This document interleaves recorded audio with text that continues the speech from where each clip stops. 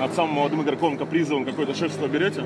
Или он уже на взрослый парень? Я думаю, что уже он многое прошел, еще у него большая карьера впереди, но сейчас э, главное каждому взять шефство над собой. От каждого будет много зависеть, и каждая мелочь может решить, так что надо сфокусироваться на себе. На, на основании вашей пятой Олимпиады опыта, как надо проводить свободное время, чтобы не отвлекаться на мелочь? В город не выходить, просто книжку читать, то, что вы читаете, Э, там, наоборот, фильм?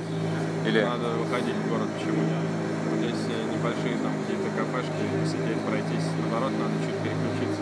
Там, Не надо сильно голову забивать до игры, поэтому... там Потому что, нам, потому что нам давали установку, говорили до Олимпиады, что если ваш спортсмен выходит в город, к нему подбегают фанаты с российским флагом, вам нельзя фотографироваться, то есть отгонять их надо. То есть в этом смысле, что... Ну, я не знаю, пока не подбегали, поэтому отгонять никого мы не будем. А, но если такое правило, значит, поговорим, объяснимся и сфотографируемся без флага.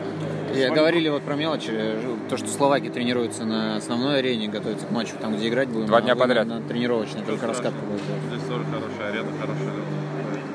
Вы не воспринимаете как неуважение, там, может быть, к вашему- Нет, мы это не воспринимаем. А как вам тот стадион показался во время фотографирования?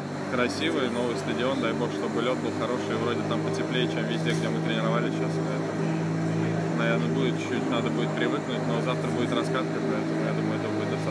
С вами в звене пробует Сергея Мазякина. Как-то игра звена от этого меняется, потому что все-таки он совершенно другой игрок, нежели там Калинин или Григоренко.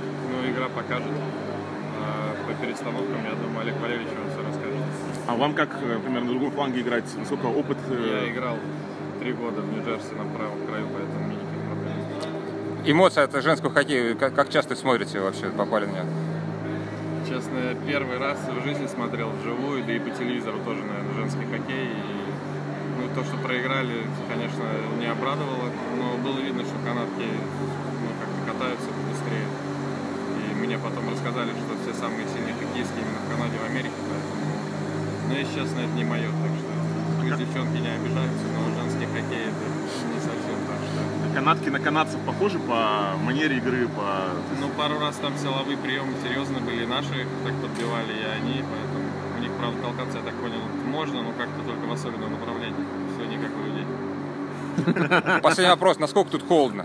В Корее прям все с дубак, Да особенно в горах. Хорошая погода. Нравится да? Ну, ничего, так э, в Питере ветра такие же, поэтому привык. Похоже, да? Спасибо. Спасибо. Спасибо. We have a great team this year, so that's. But now my mind obviously in Olympics. Of course. How much, how much is the atmosphere in this team different from the one in Sochi? No, we always have great atmosphere in the team. You know, and uh, Sochi it's one tournament here, it's totally different. Maybe it's a little less pressure because we didn't play at home, but uh, you know, we'll see. It's always pressure on the Russian team. You know, the fans expected a lot, and uh, we will try to be more successful as we can. Илюш, Thank you. Спасибо. а, Саш, а, с- а, Никита Нестеров сказал, что Саша Овечкин передавал э, команде, что для него тоже должны сыграть. А с кем э, Саша разговаривал? С тобой или с кем-то еще? Ну, пока не разговаривали, но я уверен, что все ребята, которые какое-то отношение имеют к хоккею, они переживают за сборную. И мы будем в том числе играть и за них, конечно. А тоже. Кто, э, кто-то из э, передавал тебе непосредственно пожелания? Да нет, я сейчас более сосредоточен, я никакие там соцсети особо не залаживаю, на телефон не отвечаю. конечно. А Что для тебя сейчас именно лично значит Олимпиада? Это рекорд у вас с Пашей, в общем-то, всех времен. Если Да, знаешь ну, каждая Олимпиада это, это огромная ответственность, поэтому с большим удовольствием будем в ней принимать участие и будем надеяться, что будем успешны. Ну, ладно.